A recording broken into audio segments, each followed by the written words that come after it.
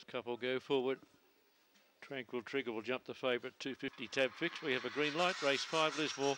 Fourth and fifth 420 for on match rating. Set now.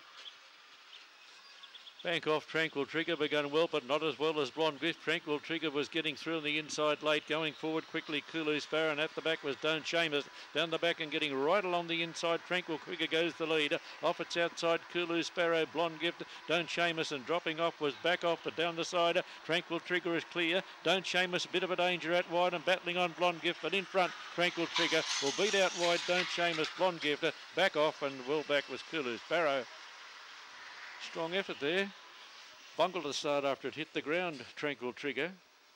But come away in the last little bit to score. Ran the 24-4 mark, went out in 9.99, which wasn't a good guide to the, the time in the event. Tranquil Trigger should return around 2 even and 140.